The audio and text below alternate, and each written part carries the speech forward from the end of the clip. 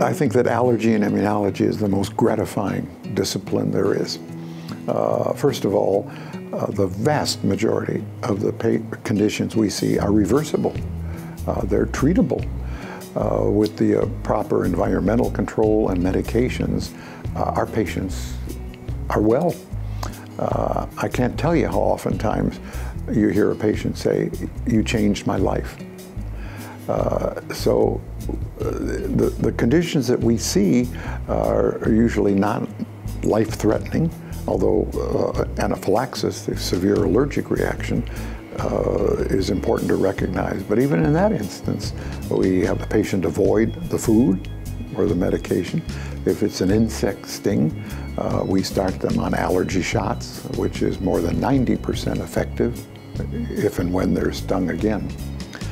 So uh, the fact that most of our patients, the great majority of our patients improve with our care is very satisfying.